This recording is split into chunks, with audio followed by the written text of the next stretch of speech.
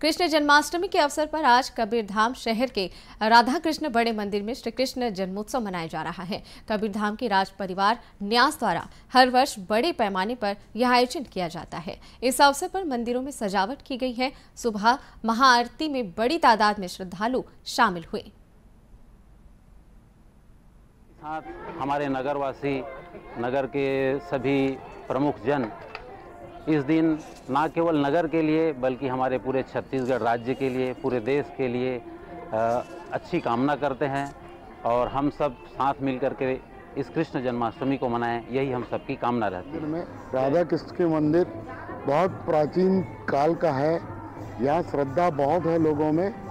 और धार्मिक स्थल है कवर्धा हम लोग बहुत धूमधाम से जन्माष्टमी का त्यौहार मनाते हैं कवर्धा में। कबीरधाम शहर में कृष्ण जन्मोत्सव के अवसर पर कल विभिन्न स्थानों में दही लूट कार्यक्रम का आयोजन किया जाएगा।